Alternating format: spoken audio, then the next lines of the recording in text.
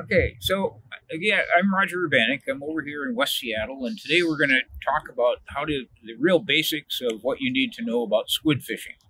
So I'm, I'm standing on a dock that uh, the passenger ferry that goes across to Seattle uh, is uh, uh docks at, and it's just a gorgeous setting. I mean, this, uh, uh, you know, just standing here and people come and take photographs and you know there's a little restaurant hawaiian restaurant at the end of the dock and it's just a nice place to be if nothing else. So during the there's two times basically to do squid fishing. Uh, there's a daytime fishery and there's an evening fishery. Uh, the first thing you need to know is yes you do need a license to do it but it's uh, but the good news is it's part of your shellfish license. So if you like clamming and oystering, etc., you've already got the uh, the appropriate uh, permission to go out and, and, do some squidding. The second thing is, uh, you know, the gear is fairly simple. You know, I'm basically here. I'm going to show you the gear. I mean, I'm using the same rod and reel that I would uh, if I'm uh, fishing for trout or perch or you know most other species of fish. And the, the terminal end of the uh, uh, my outfit is, you know, I, I use what they call a, a little corky, uh, you know, that that will float in the water to basically show you, uh, identify, especially at night, exactly where your line is, how far away from shore you are, um, and make sure that you're not tangling up with the, the guy next to you. The next thing that you want to have is the very end of it.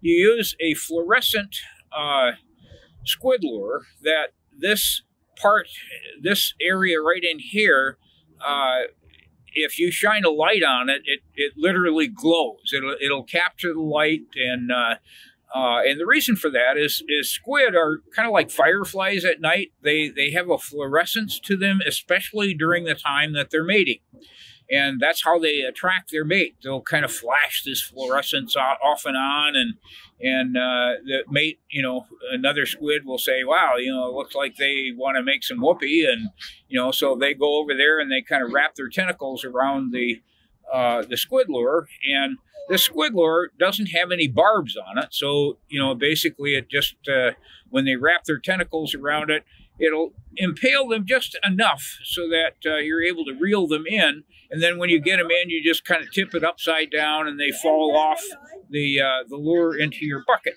And uh, which is good that you don't have to handle them too much because they, they do have a little bit of black ink that they kind of squirt out when there when there's danger uh, about. And, and, so you use a, a pail, etc., that uh, you don't mind getting a little bit dirty because it will be full of ink, uh, you know, if you're out squidding and, and doing fairly good. So, so the next thing is, again, you do this both at day and at night. And I'll just, just today we're here in daylight, but just I'll give you an idea of a couple of the basic things that you need. Uh, if I were coming out here at night, I would use a, uh, a little light like this with a, a clamp uh, that I can clamp it to the uh, the edge of the dock uh, and kind of shine, have the light shine down into the water. And then this little converter is, I hook this up to a, a marine battery, you know, just like the same kind of battery is in, in your car. And you get DC power from that. And uh, it, the DC power goes into this converter and then it comes out and you can't buy a DC light very easily so you it converts it to AC current and uh, and shines a bright enough light that as it shines into the water it's going to attract the squid. You know that it uh, you know more uh, you know that light kind of helps them illuminate a little bit and it kind of draws them in from uh, being scattered around the lake uh, or the uh, sound a little bit more during the nighttime, the, the best squid are in this body of water all year round. However, uh, the best times to catch them are usually October and November and December. That's when they basically come in uh, to uh, do their spawning. You know, the, the bulk of them do. I mean, there'll be some of it going on through various times of the year, but but most of the, the, the best fishery, uh, everybody says, you know, October, November, December, uh, you know, come out there.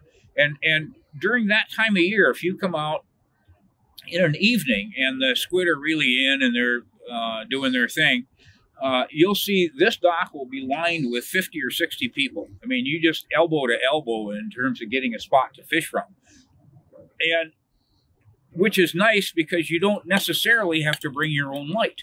You could just kind of come in with your rod and reel and a couple of squid jigs and stand next to somebody that's got a light and, uh, you know, kind of fish, you know, take advantage of that situation. So the next thing you want to uh, do is, uh, uh, you know, the, the squid, uh, especially during this October November time frame, they like to come into the uh, in, into Elliott Bay and do their uh, mating usually during a rising tide. You know, so so when it's going from low tide towards high tide, uh, and then maybe the next 15 minutes to half hour after high tide is usually the best time of day to do that. And and the same with during the day. Uh, you know, there's going to be more activity. The squid are kind of swimming around and and uh, uh, being a lot more active at that time of day than uh, than they are uh, later on. So uh, today I just happened to look and you know like the you know the low tide was maybe half an hour ago, and actually it was an hour ago, and uh, and it will be uh, on a rising tide for the next uh, hour and a half. So the tide book is, as is in most uh, uh, shellfish, uh, you know, acquisitions, is an important thing to take a look at. So during the during the evening when you're fishing you don't need to, you know, the lights attract the squid real close to the, the dock. So all you basically need to do is just uh, drop your lure right off the dock down to the bottom, uh, reel it up a little bit, and then just kind of have a little bit of jigging motion. Sometimes the squid are kind of suspended mid, uh, you know, mid level up. This water right here is probably about 30 feet deep uh, at the, the end of the dock. And sometimes, you know, most of the more squid than not that are in the mating are going to be nearer the bottom. That's where the the uh, the vegetation to lay their eggs is going to be. Uh, but some again are suspended, and they'll look for some kelp, pieces of floating kelp or something like that to lay their eggs on. So sometimes you kind of you know you watch what the people next to you are doing. If they say, ah, they're you know, I'm getting them on the top, or you know, sometimes you'll actually see in the lights some of uh, some squid swim, swinging around near the top, and you can just reel your uh, squid lure up near the top and jig it up a, a, couple of times, and sometimes they'll come over and just grab it. So, anyway, just to so that's at night. Okay, so I'm gonna just because we're here during the daytime, uh, what I'm gonna do with my, uh, you know basic spin and uh, spinning reel is uh, just I'm going to cast it out there, let it sink to the bottom, and then I'm going to bring it in kind of a few feet at a time uh, by jerking it. It when I jerk it, it will come up off the bottom, maybe two or three feet, and then I I let loose of it, count to maybe ten, let it settle down to the bottom, and then keep repeating that until I get fairly close to the dock, and then I pick it up and I cast out again. So, and the other thing is, especially at night, another little tool is I carry a little portable flashlight uh, in my uh, in my pocket, and I, I shine this light on the squid lure itself, and have it and help it get fluorescent since there's no uh, light at night. So I get this fluorescence going, and then once I uh, throw it out there, they'll the other squid will say, "Hey, you know, here's a live one. Let's uh, let's go make friends." And uh, so having that little light uh, and the people next to you having the bigger light that attracts them into the, the dock, that's kind of the secret of getting these these squid in your bucket. And then usually what you want to do, the limit is 10 pounds. Uh, and you can fill a little gallon-sized bucket about three quarters of the way full, and that'll be about your uh, 10 pound limit you can watch again, uh, you know, what the people next to you are doing, but uh, and that'll be several meals. I mean, usually, uh, you know, three, four, five squid, uh, uh, and the squid that you're getting, they're, they're probably oh on average maybe six to eight inches long. Uh, so they're not these big, you know, squid that you'll get down in Mexico or something like that. These, you know, these are these are you know quarter of a pound a piece or something on that order.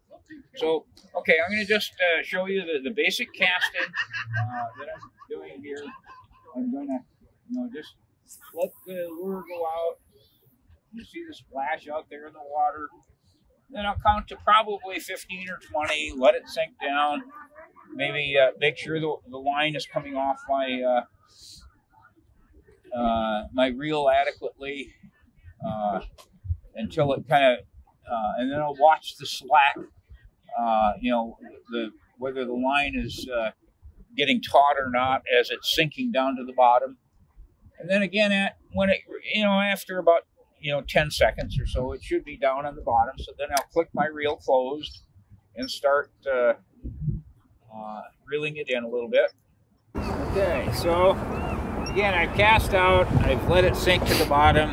Now I'm in the process of kind of bringing it in at a uh, at a rate that is liable to uh, uh, attract the squid. So I basically lift my rod up, uh, let it sink back down, and this is pulling the jig or the squid uh, lure off the bottom to about three or four feet off the bottom. And then I let it settle down to the bottom. I count to about 10, and then I uh, start, you know, repeat the process. So I just continue to do this motion. So during the process of doing this, both day and night, you'll you'll have other things that will, uh, you know, be attracted to or accidentally get hooked to your squid jig. I mean, I've caught crab, I've caught uh, small uh, octopus. Oh yeah. I've caught some small uh, uh, uh, bait fish, some small, uh, even some small salmon that will come by in school that'll just accidentally get in, impaled on it. And then you catch and release them and drop them back into the water. Uh, but it's it's really an interesting fishery. You'll because of the fact that the when the squid are really in, you'll have seals and sea lions out here. Uh, you'll have a lot of diving birds. That uh, it, I mean, it's a big fishery, and and this area that we're fishing at, this this West Seattle Bridge, just uh, you know a couple hundred yards that way is the mouth of the Duwamish River, which is a, a river that the salmon spawn in. They'll go up there.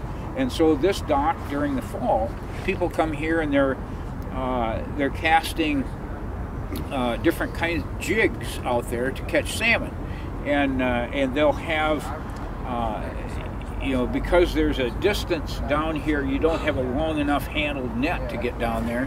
What they do is they use uh, what they call ring nets that they use for crab.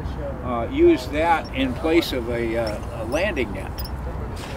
So anyway, that's uh, that's a day in the in the outdoors uh, here at West Seattle, and uh, you know, with any luck, we'll uh, we'll have a whole bucket full of squid, uh, uh, you know, to take home tonight.